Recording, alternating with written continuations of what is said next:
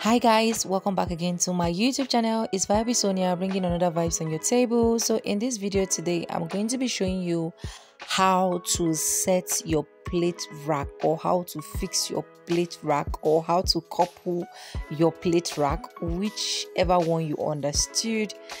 Omo, when we got this plate rack, it was very very difficult for us to be able to like fix it up. Like the last one we used before this one was very very easy, and I did a tutorial about it, and I also uploaded on this. I uploaded on this particular one. I didn't know that plastic plate rack is a whole lot of stress. So, anyways, I decided to do this video for you guys so that you guys will not be finding it difficult. Again, if you want to fix your plate rack, watch from beginning to the end because this video is definitely going to help you if you're looking for a way to fix your plate rack plastic plate rack to be precise okay? Or this particular nature of plate rack because it is not easy but trust me with all these videos you're going to be finding it easy. If you've not subscribed please do well to subscribe if you find this video helpful. Don't forget to drop me your comment do you have any issues fixing your plate racks?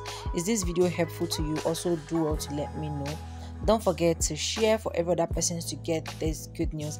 And if you're not giving this video a thumbs up yet or are you waiting for if you've clicked to watch this video that means this video need a thumbs up okay? So anyways i'll allow you enjoy this video and i'll see you guys in my next video. Enjoy. Bye